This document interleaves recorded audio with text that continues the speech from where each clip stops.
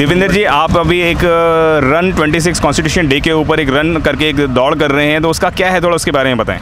हम लोग 26 नवंबर को सुबह सात बजे रन फॉर कॉन्स्टिट्यूशन आयोजित कर रहे हैं जो इंडिया गेट पे कर रहे हैं। कहाँ से इसका आयोजन शुरू हो रहा है और कहाँ पर ख़त्म होगा और क्या कितने लोगों को पार्टिसिपेट कर रहे हैं और किस तरीके की रूपरेखा है वो भी बताएँ। इंडिया गेट पे इसको हम लोग शुरुआत कर रहे हैं राजपथ पे कर रहे हैं। और सुबह सात बजे कर रहे हैं। उसके बाद एक इंडिया गेट से राजपथ की तरफ़ चलेंगे फिर रेल भवन के तरफ़ चलेंगे फिर रेड क्रॉस रोड फिर पटेल चौक और अशोक रोड और again terminating at India gate मैं देख रहा हूँ आपके ऊपर रन का एक ये वो भी है आपके ऊपर इसको भी ज़रा हमारे मीडिया दिखाएँ ज़रा।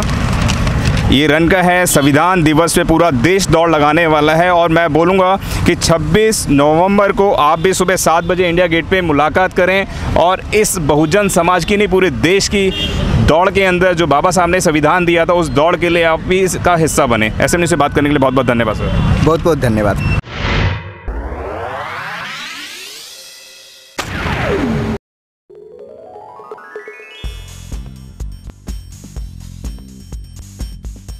はい。